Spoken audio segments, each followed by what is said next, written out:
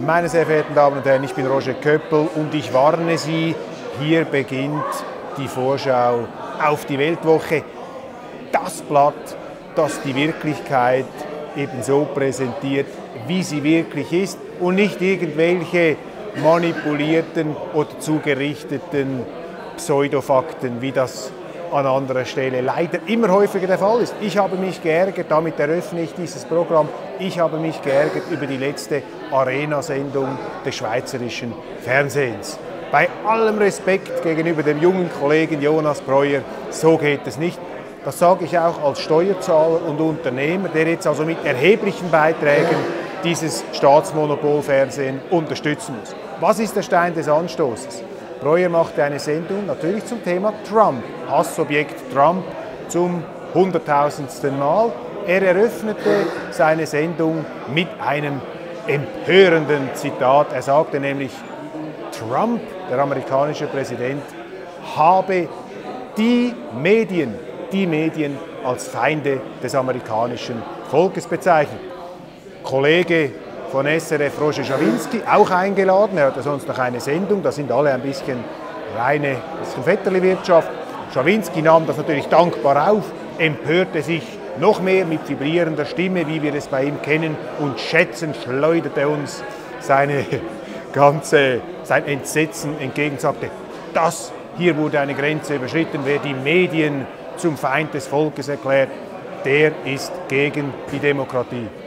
Liebe Kollegen, regt euch ab, nehmt ein Beruhigungsmittel, vielleicht auch mal eine psychotherapeutische Sitzung würde helfen. Sorry, Trump hat das so nie gesagt. In seinem Twitter-Eintrag, um den es hier geht, vom 17. Februar, sagte er, Fake News Media, und er nannte dann ein paar Organisationen, Fake News Media sind der Feind des amerikanischen Volkes. Also Journalisten, die ganz gezielt lügen und Unwahrheiten verbreiten. Liegt Trump total falsch? Nein, ich bin auch gegen Lügenpresse. Ich bin auch dagegen, dass Journalisten nach Belieben inquisitorisch, einfach nur weil einer nicht links ist, ihm irgendwelche Dinge unterstellen und andrehen wollen, damit er derart moralisch unmöglich ist, dass sie dann wieder als Saubermänner dastehen. Das ist doch nicht das Ziel der Medien. Entschuldigung, liebe Kollegen, die ihr euch jetzt da so aufregt über Donald Trump. Was wurde ihm alles vorgeworfen in letzter Zeit? Man hat ihm vorgeworfen, er habe die Büste des schwarzen Bürgerrechtlers Martin Luther King aus dem Weißen Haus genommen, um zu zeigen, ja, hier haben wir den Rassisten, ganz schlimm und so weiter. Stimmte einfach nicht. Völlige Fehlmeldung. Oder erinnern Sie sich an diesen grauenhaften Pseudobericht, wo es geheißen hat, uh, da gab es ganz perverse Sexpartys in Moskau und so weiter.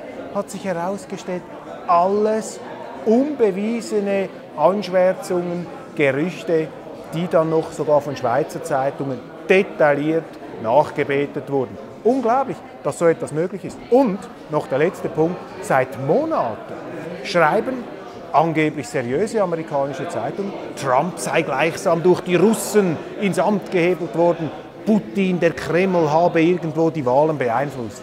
Sind diese Leute verrückt geworden? Glauben Sie wirklich, dass der Kreml, der also genügend Probleme in Russland hat, dass es dem gelingt, Millionen von amerikanischen Stimmbürgern fernzusteuern. Schauen Sie, das ist das Thema, das wir hier haben. Darf ein amerikanischer Präsident das kritisieren? Natürlich darf er das. Finde ich deswegen jedes Tweet, das er rauslässt, gut? Nein, finde ich nicht gut.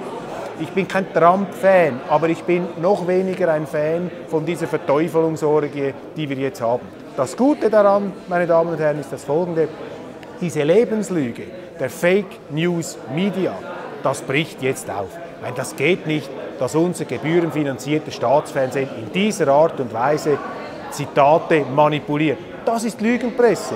Lügenpresse heißt nicht, man erfindet etwas ganz neu. Lügenpresse heißt, man nimmt etwas und macht daraus etwas ganz anderes, um den gewünschten Effekt zu erzielen. Es ist jetzt hier etwas laut im Bundeshaus, Sie sind aufgeregt, ich weiß nicht warum, um daraus etwas anderes zu machen. Und das kann ich Ihnen versprechen, an diesem Anspruch können Sie uns messen. Wir lassen in der Weltwoche immer alle Seiten zu Wort kommen. Wir haben eine klare Linie. Ja, wir sind nicht links a priori. Wir lassen aber auch die Linken schreiben bei uns und uns interessiert die offene Auseinandersetzung. Das war die Einleitung zu diesem Programm. Jetzt noch zum Angebot in der nächsten Weltwoche. Hochinteressant. Titelthema. Sie sehen es hier, der Mann auf ein paar Schweizer äh, Banknoten, die ertrinken mit dem AHV-Signet Bundesrat Perse, seine AHV-Reform. Wir schauen das komplexe, schwierige Geschäft an. Ich glaube, nur wenige Leute verstehen es wirklich. Unser Mann Beat Gigi, Wirtschaftschef, er hat es verstanden und er schreibt, warum diese Reform vermurkst ist, warum die nicht gut ist. Das ganz kurz vorwegzunehmen, hier wird einfach Geld in ein schiefes System hineingepumpt, ohne dass die Probleme gelöst werden. Wir versuchen hier aus liberaler Sicht, aus freiheitlicher, aus schweizerischer Sicht eine bessere Perspektive, eine bessere Lösung zu skizzieren. Dann, wir haben weitere Themen. Interview mit dem finsteren Stephen Bannon. Das ist ja der Mann hinter Trump, der Sicherheits-, nicht Sicherheitsberater, der, sein Berater, sein Chefberater, auch universell verteufelt. Wir haben ein hochinteressantes Interview mit ihm, wo er etwas aus seiner Sicht einmal darstellt, wie sich die ganze ähm, Situation für ihn zeigt. Weitere Themen. Kritischer Artikel über den SVP-Asylchef Andreas Glarner, der nur wenige Meter von mir hier jetzt im Saal ist. Alex Reichmuth stellt sich die Frage, schadet eigentlich gar Glarner mit seinem eher provokativen Stil, schadet er seinen Anliegen, nämlich die Missstände im Asylwesen zu bekämpfen, Zuwanderungsprobleme in den Griff zu bekommen? Ist sein Outspoken-Stil, ist das gut oder ist das schlecht? War der frühere Mann Brandt war das mit seiner eher etwas diskreten Art, war das eigentlich wirksamer? Das die Fragestellung dieses Artikels.